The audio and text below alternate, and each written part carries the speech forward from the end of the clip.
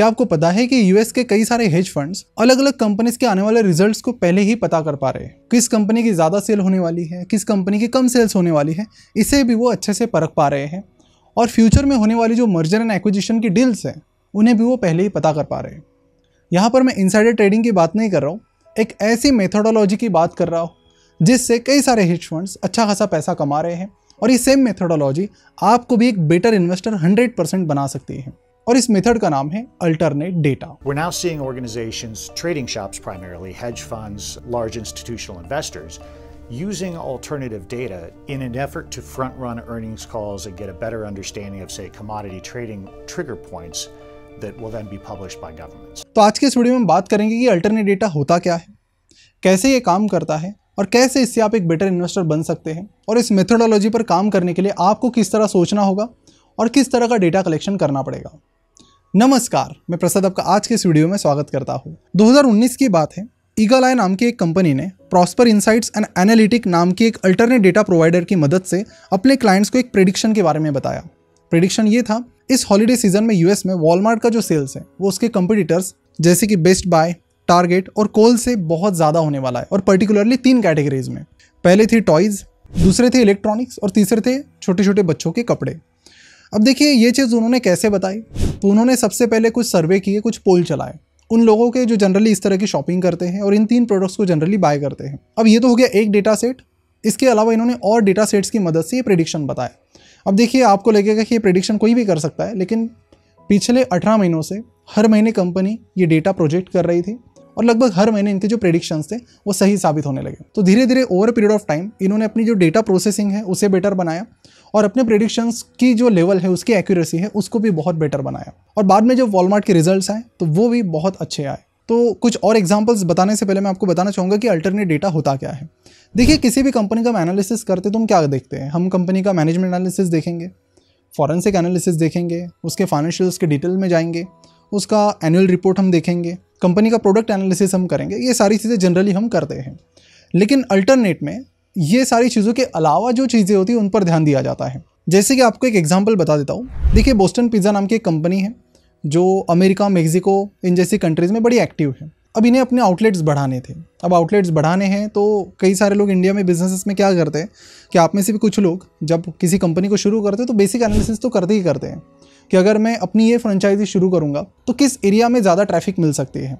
लेकिन कई बार ये चीज़ें हम अजम्पन्स के बेसिस पर करते हैं। हमारे पास कोई स्ट्रॉन्ग डेटा नहीं होता है, जो हमें श्योर शॉट ये बताए कि यहाँ पर अगर फ्रेंचाइजी आई तो बहुत ज़्यादा चांसेस है कि वो चलेगा ही चलेगा। अब इसके लिए लगता है डेटा और यही डेटा कुछ alternate data providing companies provide करती हैं। अब यूएस में ऐसे सौ से भी ज़्यादा कंपनीज़ हैं जो इस तरह का अल्टरनेट डेटा प्रोवाइड करती हैं। तो बॉस्टन पिज़्ज़ा ने क्या किया कि डायरेक्टली अपनी फ्रेंचाइजी शुरू करने से पहले उन्होंने कुछ अल्टरनेट डेटा प्रोवाइडर को कॉन्टैक्ट किया। तो प्रेडिक डेटा ने यहाँ पर बोस्टन पिज़्ज़ा को इसमें मदद की कि आपको किस लोकेशन पर अपनी फ्रेंचाइज डालनी चाहिए। तो इसके लिए उन्होंने उस लोकेशन के फुटफॉल को चेक किया कि कितने लोग उस एरिया से जनरली जाते हैं। अब यहाँ पर इन्होंने इस ग्राफ की मदद से उन्हें समझाया कि जो रेड डार्क रेड कलर है, यानी कि वहाँ पर जो जनसंख्या है, उसका कॉन्सेंट्रेशन ज़्यादा है।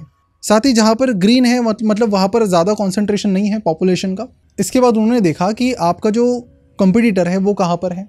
डायरेक्ट कंपटीटर कहाँ पर है और इनडायरेक्ट कंपटीटर कहाँ पर है? इन सारी चीज़ों का एनालिसिस करने के बाद इन्होंने दिन, हफ़्ते में जितने भी दिन होते, उसके अनुसार एनालिसिस किया कि किस दिन ज़्यादा ट्रैफ़िक होती है, किस दिन कम होती है।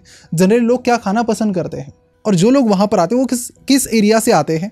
ताकि ये भी पता चले कि वो मतलब उनकी इनकम कैपेसिटी क्या है? तो इन सारी चीज़ों के बेसिस पर इन्होंने बोस्टन पिज़्ज़ा को लगभग पाँच लोकेशंस प्रोवाइड किए, कि इसमें से आप दो सिलेक्ट कर सकते हैं और ये कुछ बेस्ट लोकेशंस हैं। बोस्टन पिज़्ज़ा ने यही चीज़ें फॉलो की जिसका उन्हें यहाँ पर बहुत फ़ायदा मिला। वीडियो में आगे बढ़ने से पहले आपको बता दूँ कि हमारी दिवाली ऑफ़र का कल लास्ट डे है और इस दिवाली में हमारे सारे कोर्सेज जैसे कि stock market foundation course fundamental analysis course इन पर आपको बहुत बड़े बड़े डिस्काउंट्स मिल रहे हैं। अगर आप एक बिगिनर है और शेयर मार्केट को बेसिक से लेकर एडवांस लेवल तक सीखना चाहते हैं तो हमारा the foundation course on stock market और फंडामेंटल एनालिसिस इन दोनों का अगर कॉम्बो लेते हैं तो आपको बिगिनिंग से लेकर एडवांस लेवल तक सारी चीज़ें बड़ी आसानी से समझ में आ जाएगी, जिससे आप अपनी शेयर मार्केट जर्नी बड़ी आसानी से शुरू कर पाएँगे।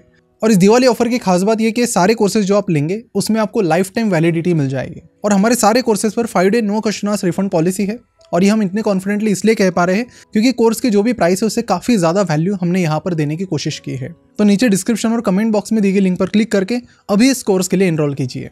अब बढ़ते हैं अपने टॉपिक की तरफ़। सेम चीज़ ऑक्सीडेंटल पेट्रोलियम के बारे में हुई। बात है 2019 की, जब वॉरेन बफेट ने सबको सरप्राइज़ कर दिया ये बताकर कि बक्शा हैतावे ऑक्सीडेंटल पेट्रोलियम में 10 बिलियन डॉलर के शेयर्स खरीदने वाली है। लेकिन कई सारे लोगों के लिए सरप्राइजिंग न्यूज़ थी ही नहीं, क्योंकि उन्हें ऑलरेडी ये पता था। तो डॉन बिल्सन, जो कि एक independent research firm Gordon Haskett research के लिए काम करते हैं, उन्होंने अपने क्लाइंट्स को एक नोट भेजी, एक इन्फॉर्मेशन भेजी, और उस इन्फॉर्मेशन उन्होंने ये कहा कि ऑक्सीडेंटल पेट्रोलियम के कुछ प्लेन्स जो है वो पिछले कुछ टाइम से बक्शा हैदराबाद के जो ओनर है वॉरेन बफेट उनकी सिटी ओमाहा में जा रहे हैं। अब इसके बाद उन्हें एक चीज़ पता चली कि यहाँ पर इन दोनों के बीच डील हो सकती है। वॉरेन बफेट इस कंपनी में इन्वेस्टमेंट कर सकते हैं। अगर ये इन्वेस्टमेंट हो जाती है तो ऑक्सीडेंटल पेट्रोलियम की प्राइस तुरंत बढ़ जाएगी। और अगर नहीं होती है तो किसी और रीज़न से वो कम भी हो सकती है। लेकिन इस डेटा सेट ने उन्हें यह बताया कि यहाँ पर ऐसी ऐसी पॉसिबिलिटी है।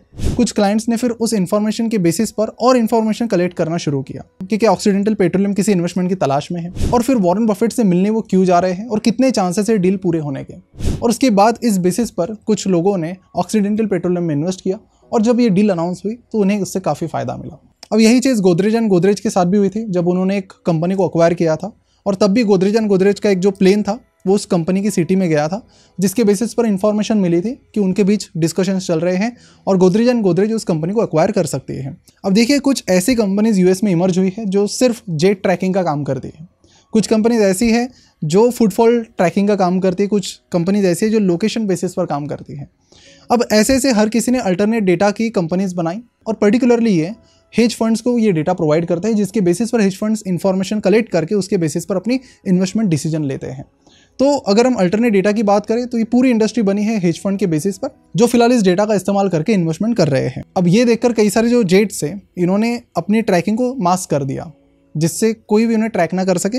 लेकिन 2011 में यूएस में ऐसी रूलिंग आई कि आप ऐसा नहीं कर सकते, आपको अपने प्लेन्स को अनमास्क करना पड़ेगा। अब जिसके बाद अगेन जो अल्टरनेट डेटा एजेंसीज हैं, वो उन्हें ट्रैक करने लगे और उसके बेसिस पर जो भी डेटा आता है, वो अपने क्लाइंट्स को प्रोवाइड करने लगी। अब ये चीज़ें कहाँ तक एडवांस चली गई आपको बता देता हूँ। पहले क्या होता था स्कटलबट स्ट्रैटेजी का इस्तेमाल किया जाता था।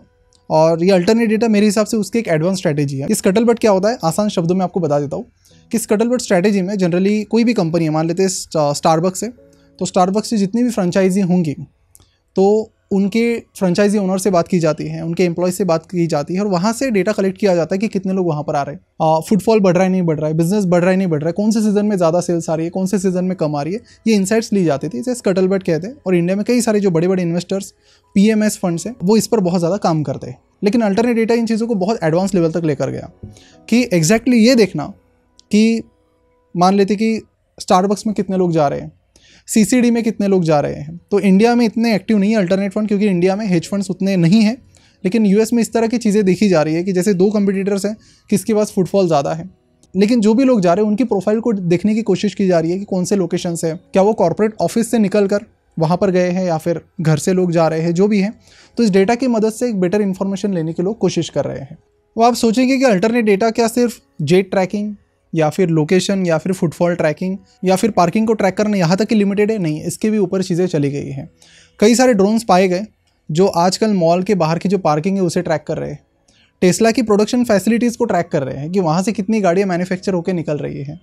यहाँ तक ये चीज़ें बहुत एडवांस लेवल तक चली गई है। इसके साथ ही एक इंपॉर्टेंट फैक्टर है, जो धीरे धीरे इमर्ज हो रहा है, वो है सोशल मीडिया यानी कि सोशल मीडिया पर कीवर्ड्स की मदद से कई सारी अल्टरनेट डेटा कंपनीज़ ये ट्रैक करने की कोशिश कर रही हैं कि किस चीज़ के बारे में ज़्यादा सर्चेस हो रहे हैं।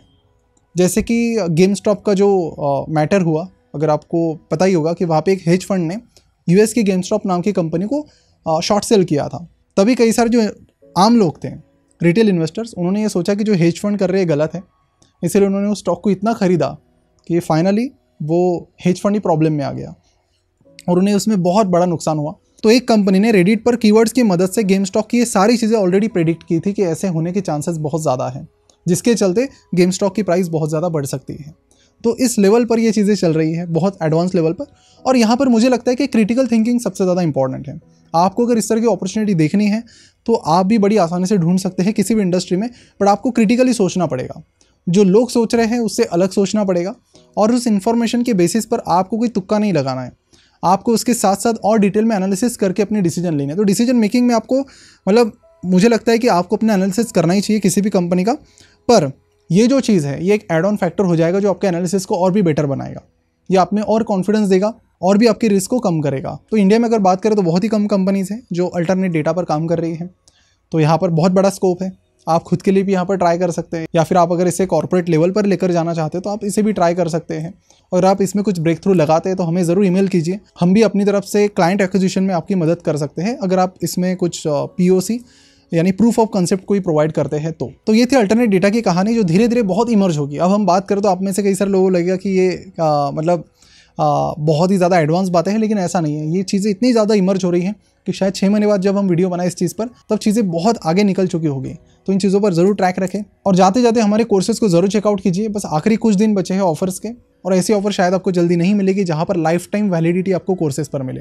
इनके लिंक आपको नीचे डिस्क्रिप्शन और कमेंट बॉक्स में मिल जाएगी। अपने दोस्तों के साथ भी इस वीडियो को ज़रूर शेयर कीजिए, ज़्यादा से ज़्यादा लोगों के साथ शेयर कीजिए, ताकि उन्हें भी अल्टरनेट डेटा और जो भी एडवांसमेंट्स हो रही है इन्वेस्टमेंट फ़ील्ड के बारे में, उनके बारे में पता चले। Thank you so much for watching this video